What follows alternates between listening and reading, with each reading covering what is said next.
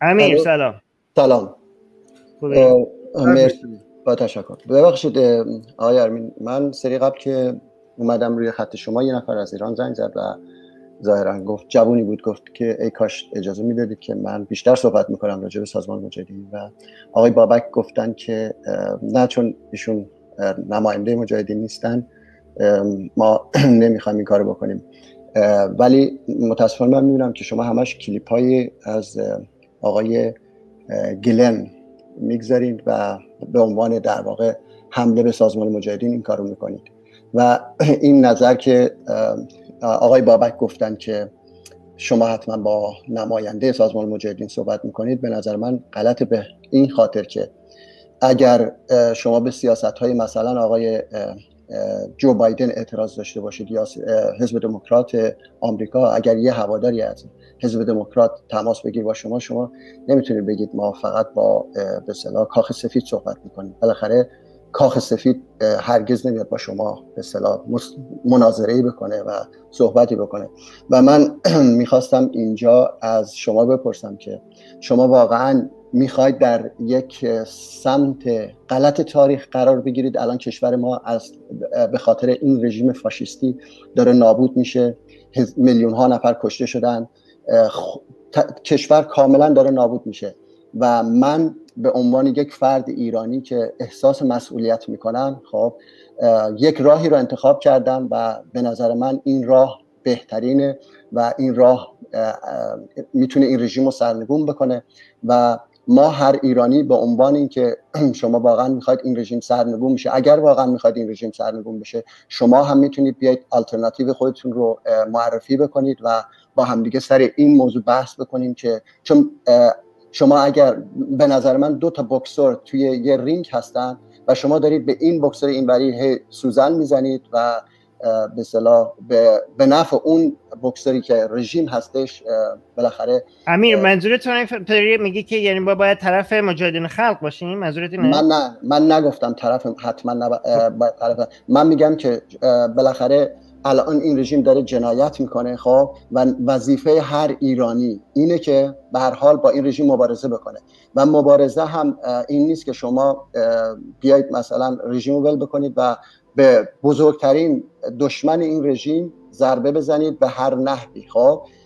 این چون هر انسان عاقلی می‌فهمه که این کار رو که شما انجام بدید به, به نفع رژیم هستش. رژیمی که الان میلیون ها دلار خرج می‌کنه که به بزرگترین دشمن خودش ضربه بزنه. فیلم های مثل نفوذی و خب امیر جان من نمی‌دونم یه ذره خب، شفافتر صحبت کن. نه بذار نه منظور منظورش متوجه شم. تو میگی که خب پس یعنی من موضوع موضوع بذار من اول منظور با امیر رو بفهمم چون منظور من اینه که من بابک جان منظور من اینه که من به نظر من این راه سریعتر رژیم رو سرنگون می‌کنه. این سازمان دموکراتیک ترین هستش. حالا خب شما میگی من نظر من غلطه. میگی نظر من, من نگفتم من اصلا هنوز ما نگفتیم غلطه یا درسته. ما داریم میگیم تو داری حرف خودت داری نقض می‌کنی.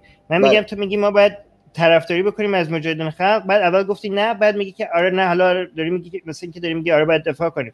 تو پس تری میگی ما باید حمایت بکنیم از مجاهدین خلق. نظرت اینه من میگم اگر شما آلترناتیوی ندارید خب که به من معرفی بکنید متوجه و اون جوونی که از ایران زنگ زده نمی‌دونه چیزی چیزی. شما یه آلترناتیوی براش مشخص بکنید. بگید آقا این آلترناتیو بهترین آلترناتیو. این رژیم رو می‌تونه سرنگون بکنه خب؟ و من هم شاید ببینم که مثلا راست میگه آرمیر اما اگر شما بیایید به مثلا این خب پس در حال حاضر مجاهدین خلق منظور دینه. خب بذاریم سراغ بابا. دقیقاً در حال خب، حاضر. بذار امیر عزیز من اول عرض کنم در مورد نکته اول که فرمودی که ما چرا از طرفدارا دعوت نمی کنیم بیان. نه دعوت کنید نه دعوت کنید اجازه بدید اجازه بدید صحبت بکنیم. خب همین. اجازه من اجازه بدید من صحبت نوبت بابکه. بذار بابک الان صحبت کنه امیر جان اگر ما کنیم چون طرفدار فقط نظر شخصی خودش رو میاد میده و اون وقت کسی که عضو سازمان هستش می‌تونه خیلی راحت بیاد بگه که آقا این نظر شخصی اون فرد بوده. ما اصلا این چیزا رو قبول نداریم. این برداشتی که اون فرد داشته ما اصلا این چیزا رو قبول نداریم.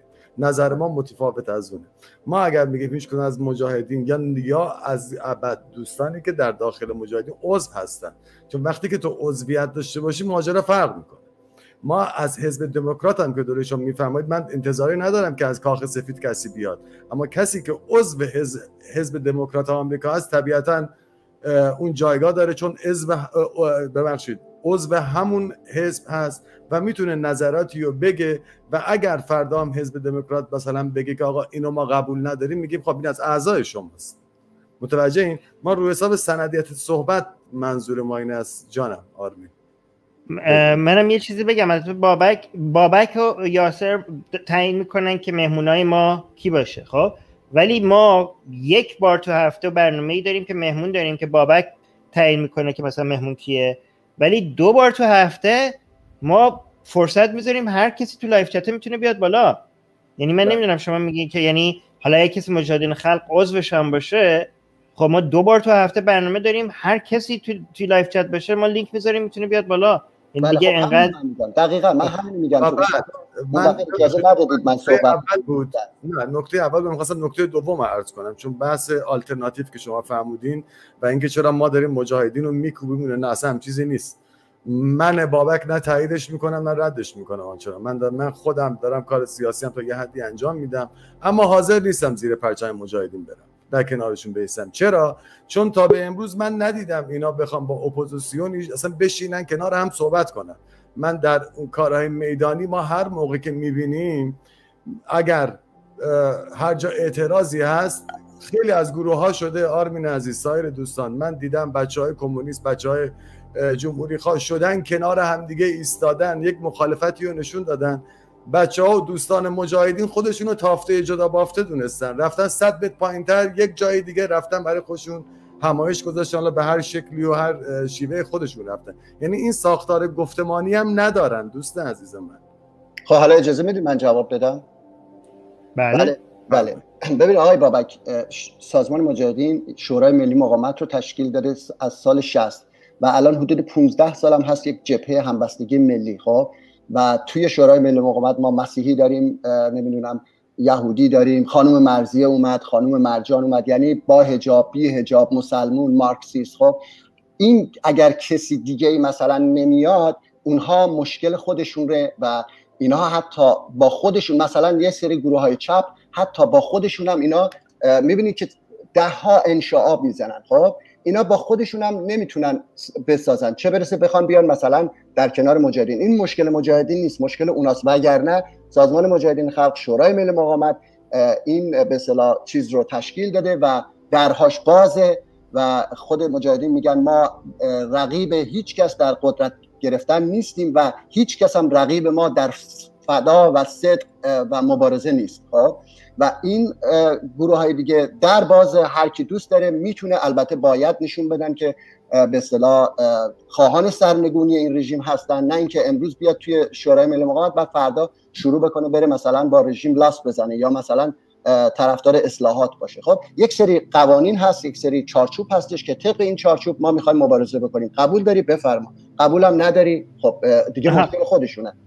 خب یعنی باید حتما عضو مجاهدین خلق باشن تو باش کار کنن یعنی اینجوری نیست. یعنی مجاهدین خلق با هیچ گروه دیگه ای حاضر نیست کار بکنه حتی هیچ گروه دیگه هم حاضر نه نه. هیچ گروه دیگه هم حاضر نیست highlight بکنه حتی اونا رو اصلا قبول بشناسه خودشون کسی هم بخواد باشون کار بکنه باید عضو مجاهدین خلق باشه تا شما اصلا متوجه نیستید. مجاهدین رو باید قبول داشته اجازه بده نه آقای آرمین شما اصلا متوجه نیستید. من میگم امیر جان اجازه بدید نه می‌دونم می‌خوام اجازه صحبت کنی خب؟ بله. فقط اما اگر هست من یه سوالی هم که دوستان از تو پرسیدن. اگه میشه دیگه وقتی هم بذار این سوالم پاسخ بده. بعد جواب میدم. چرا سازمان مجاهدین همین سیاست رو در مورد ایجاج میثاقی نداره؟ این همه دشمنی با ایرج اوکی من اینو توضیح میدم خب؟ امیر اگه میشه اگه میشه کوتاه بگو حرفای آخرت هم بزن که ما سراغ بانک کسای دیگه منتظر خب، هستن. ببینید همین مشکل که شما هی کلیپای آقای گلن رو می‌ذارید ولی وقتی یه کسی می‌خواد قشنگ از سازمان مجاهدین نه نه وقت ندارید خب؟ نه نه ببین اون روزی که آقای گلن اومد هیچ کسی دیگه منتظر نبود خب؟ من, من تازه من میگم حرف آخر تو بزن خب؟ بعد اگه میشه حرف زدی بمون. که من وقتی بقیه رو تموم کردم دوباره برگردم سراغ تو. باشه؟ خوب اینطوری. خب اوکی. باشه باشه.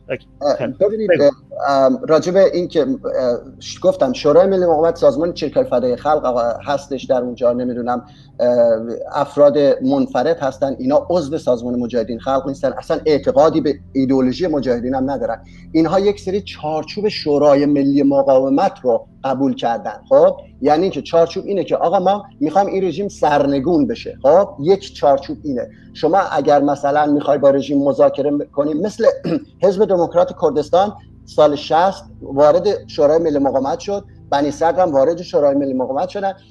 بعد از مدتی حزب دموکرات کردستان شروع کرد با رژیم مذاکره کرد. بنی صدر شروع می‌کرد به خمینی نامه مینوشت که ای چی؟ پدر تو بیا نمی‌دونم چی؟ پدری رو از سر بگیر و فلان. مج... ساز... شورای ملی مقاومت اینا رو اخراج کردن. گفتن ما می‌خوایم این رژیم سرنگون بشه و مذاکره نمی‌خوایم با, با این رژیم بکنیم. خب یک سری چارچوب هسته شورای ملی مقاومت نه سازمان مجاهدین. خب میگه که شو... آقا این اتوبوس از تهران می‌خواد بره قم. شما می‌خواید سوار این اتوبوس بشی یه دفعه وسط راه نمی‌تونی بری ساوه. خب؟ می‌خواد بره قم. و این چارچوب رو شما قبول باید بکنید که بله ما می‌خوایم بریم قم. کسی که این چارچوب رو قبول می‌کنه وارد شورای ملی مقاومت میشه نه سازمان مجاهدین خلق یعنی شما می‌تونی مسیحی باشی شما می‌تونی مارکسیست باشی که هست الان با هجاب بی هجاب نمی‌دونم با بازم یه گروه خودشونه. امیر جان حالا یه اسم دیگه داره ولی گروه خودشونه. یعنی باید وارد گروه خودشون بشیم تا که ما تا بتونن قبول کنن. با هیچ گروه دیگه حاضر نیستن کار کنن. من یه- حاضرن چیزی- من میگم من میگم حاضرن. من میگم حاضرن کار بکنن. منتها مراتب این چارچوب رو آقا شما من گفتم مثال ساده زدم. اتوبوسه می‌خواد بره قم. شما نمی‌تونی سوار بشی بگی من می‌خوام برم ساوه. بله. امیر جان، یه چیز دیگه هم بگم. من الان یادم اومد. تو هی میگی ما چرا ویدیوهای گلن رو می‌ذاریم؟ گل که گلن که از مجاهدین خلقش دفاع می‌کرد من اصلا یادم رفتم تو یه جور میگی خب تو. میگی که تو یه تو میگی که انگار ما همش داریم ویدیوهای ما م- یه کسی رو آورده بودیم که کلی ویدیو میذاشتیم که من علیه مجاهدین خلق بودم ایشون داشت دفاع می‌کرد از مجاهدین خلق بله بله. خب پس حالا به نظر شما مثلا دفاعشون ضعیف بوده برای همین هی اونا رو برمی‌داری می‌گذارید چرا اجازه من صحبت بکنم؟ خب؟ نه عزیز من مطمئن باش تو- امیر جان ببین نگاه کن من آره. بذار ببین ما به هر برنامه ای که تموم بشه میایم title بندی می‌کنیم ویدیو رو میایم به حساب برش می‌زنیم. دوباره در طول هفته اونو پخشش می‌کنیم. خب حالا امیدوارم امروز باش. مطمئن. باش مطمئن باش مطمئن باش در یک بله. نقطه ای هم در هفته آینده ویدیوی تو هم دقیقا این حالت خواهد شد. بله. جان یه چیزی بگم. اصلا به نفع ماست که کسایی که ما رو خوب به چالش می‌کشن به نفع کانال ماست که ما اون ویدیوها رو بذاریم خب؟ برای اینکه طرفدارای کسایی که علیه ما هستن و طرفدار اون هستن میان حال می‌کنن و کانال ما رو هم اینجوری پیدا می‌کنن. یعنی اگه حتی از حتی اگه بخوایم فقط خودخواهانه هم رفتار بکنیم به نفعمونه که کسایی که خوب ما رو به چالش می‌کشن اون ویدیوها رو بذاریم. یعنی حتی اگه اونجوری هم فکر کنیم بگو. این سوال جواب بدم جواب بدم بگو. اول اینکه آقای آرمین آقای قاسم خب یک به اصطلاح به شما سری قبل گفتش که بیاین فلانی رو بیاریم باش عضو سابق مجاهدین بوده بیاین باش به اصطلاح چیز کنیم مصاحبه بکنیم. و شما بدون اینکه طرف رو بشناسید اصلا این کی هستش خب؟ یه دفعه آره چیز خوبیه. اگر این فرد عضو وزارت اطلاعات بود آیا شما نباید با تحقیق کنید که آقا این کی هستش که من می‌خوام بیارم توی به اصطلاح برنامه باش چیز بکنم؟ حالا من براتون الان از چیز به اصطلاح سایت حوزوی مؤسسه ره, رهیافتگان اسلام نبوی 9 خرداد 92 99 خب؟ اینو براتون من می‌خونم. که چی نوشته؟ آخر مگر نمی‌بینیم که چگونه مسعود رجبی پیامی خطاب به جوانان پیام می‌دهد؟ از قرآن و نهج البلاغه گزیده میآورد. به آموزش های هایش نگاه کنید. از تمامی آنها بوی باروت به مشام می‌رسد. از لابلای سطور فریبنده تفسیر قرآنش قبضه های کلاشینکوف دیده می شود این که و...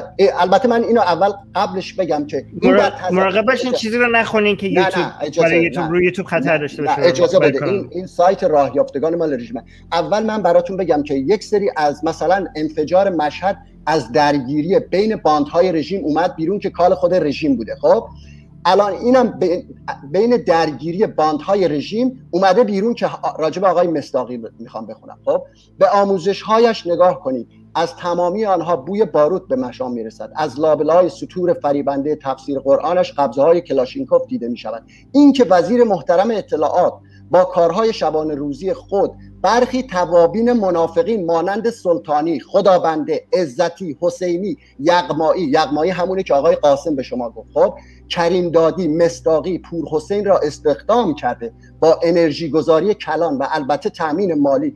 توابین را به رویارویی روانی با خود مجاهدین میکشاند بسیار عالی است اما کافی نیست. اینکه آقای اسماعیلی خبر دستگیری دو دانشجوی نخبه منافقین صنعتی شریف را اعلام می کند بسیار قابل قدردانی است اما کافی نیست. کافی نیست به همان علت که در نهایت خود مقام معظم رهبری زنگ های خطر اندیشه التقاطی را به صدا درآوردند خب این جواب آقای مصداقی بله جواب آقای جواب آقای مصداقی چی بود در در این رابطه؟ جواب آقای مصداقی این بود که چیز رژیم به مجاهدین هدیه داده. آها رژیم به اپوزیسیون خودش هدیه داده. الان هم در این دادگاهی که در چیز هست الان در سوئد هستش. خب می‌دونی که حمید به اصطلاح نوری بله. دستگیر شده. از حمید نوری پرسیدن ده ماه قبل از ورودش به سوئد دو تا ایمیل زده به چیز. نمی‌دونم فایلش رو شنیدید یا نه. دو تا ایمیل زده به مصداقی. ازش میپرسیدن فایل صوتیش هستش که من گفت من نمی‌دونم اصلا یادش نبود. خب از مصداقی پرسیدن میگه من یادم نیست. همین مصداقی تو کتابش از 35 سال پیش قشنگ خبر داره که همین من میگم کوتاه‌تر بگو کلی منتظرن. همینجوری ادامه همینجوری میری. آره من سوال کردم راجع به مصداقی. دارم میگم که مصداقی مزدور وزارت اطلاعات کوتاه‌تر بگو الان کلی منتظرن. بله. من گفتم کوتاه بگو. بله طبق فاکت هایی که من اول الان آوردم خب مصداقی مزدور وزارت اطلاعات یک توابی بودی که در زندان هم چیزا رو لو می‌داده. خب؟ بله. تموم تموم شد؟ برم بله. باش.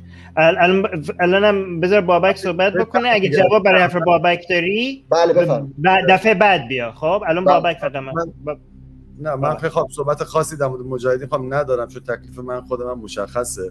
نظرم همچنان همونه. اما من فکر می‌کنم الان یک دوست امیر جان باش. ما دوست دوباره میاریمت بالا. بله. من منتظرم.